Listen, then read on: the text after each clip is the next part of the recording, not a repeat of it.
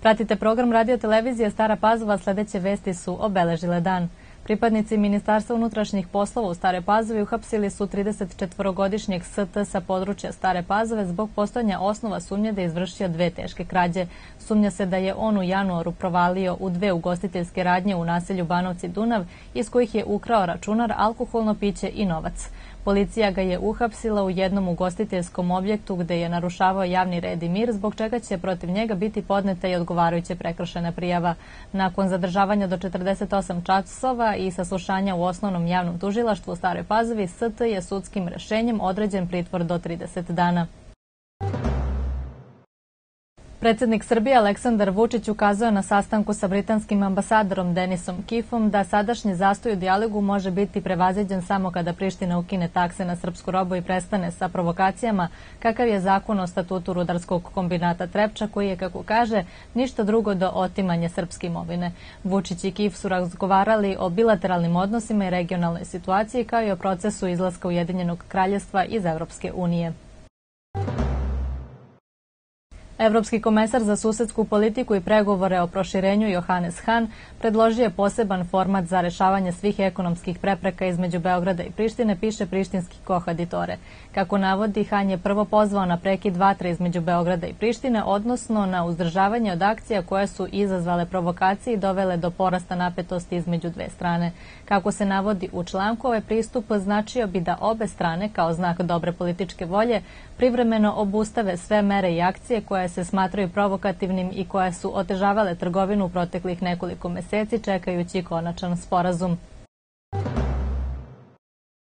Još je neizvesno da li će Savete bezbednosti Ujedinjenih nacija 7. februara raspravljati o Kosovu, jer su SAD, Velika Britanija, Nemačka i Poljska bila žestoko protiv toga da se redovni tromesečni izveštaj generalnog sekretara Ujedinjenih nacija o Kosovu i Metohiji nađe na dnevnom redu sednice, rekao je ministar spoljnih poslova Ivica Dačić. Dačić je na konferenciji za novinare rekao da prvi put u Savetu bezbednosti Ujedinjenih nacija nije usvojen dnevni red koji inače svakog meseca predlaže predsedavajući, što je ocenjuje neozbiljno za organizaciju poput Ujedinjenih nacija. Sigurna i agresivna igra od samog starta pa do poslednjeg poena donela je odbojkašicama jedinstvo pobedu u prvom kolu mini lige Banka Poštanska štedionica Superlige Srbije. Savladana je ekipa Tenta iz Obrenovca sa maksimalnih 3-0 po setovima 25-22, 25-18 i 25-17. Odbekašice Jove Cakovića nametnule su svoj ritam i bile sigurne u svim aspektima igre od servisa i prijema pa do dobrih rešenja u napadu. Najviše neizvesnosti je viđeno u prvom setu dok su ostala dva bila rutina i takozvano odrađivanje posla za domaćina. Jedinstvo je i dalje na deobi prvog mesta na tabeli Superlige Srbije zajedno sa ekipom Crvene zvezde sa kojom će biti u direktnom okršaju za pet dana. Veliku pobedu ostvarili su i odbojkaši jedinstva u Beogradu protiv ekipe Crvene zvezde u okviru prvog kola mini lige Banka Poštanska štedionica Superlige Srbije. Iako je delovalo nakon prvog sedata će to biti još jedna rutinska pobeda Crvene zvezde, odbojkaši jedinstva su se postarali da ne bude tako. Dva puta su se vraćali u meč, a na kraju uspeli i da prelome u petom odlučujućem setu sa 16-14 i osvoje bitne bodove i upišu pobedu koja im je donela plasman među četiri najbolje ekipe za sada.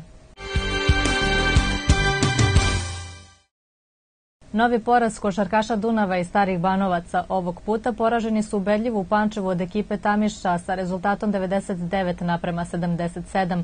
Preostaje im grčevita borba za opstanak u Košarkaškoj lige Srbije. Pravo na popravni imaće za šest dana kada će u Staru Pazovu doći ekipa Slobode iz Užica.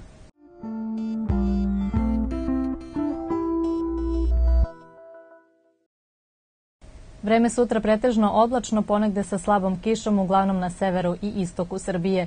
Vetar slab i umeren, severni i severozapadni. Najniža temperatura od 0 do 5, a najviša od 4 do 9 stepeni. Gledali ste vesti, hvala na pažnji i prijatno.